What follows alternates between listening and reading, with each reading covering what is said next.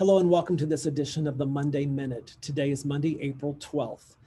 Um, unfortunately, the number of COVID cases in Pueblo County continues to increase, and I'm growing more and more concerned. Um, and I want to inform all of our employees to get your vaccine as soon as possible. And here is how you do that. Beginning tomorrow, FEMA will be setting up a vaccination site on the Colorado State Fairgrounds in Pueblo.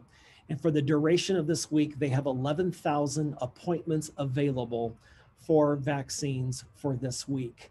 After this week, we will be administering 3,000 vaccinations per day for the next eight weeks.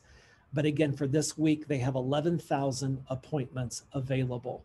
I strongly encourage you to use the link that is included in the email to log in and to make your appointment this week so you can begin the vaccination process. I am hopeful that all members of our campus community will be vaccinated by the start of the fall semester so we can get back and have as normal of a fall semester as possible. I want to remind all of our students that next week we will begin spring break, so you will not have any classes next week. We wish all of you a very safe and relaxing spring break. Um, if you're traveling, please do so very carefully. And we want to remind you that um, for all classes for the duration of the semester will be conducted in an online environment.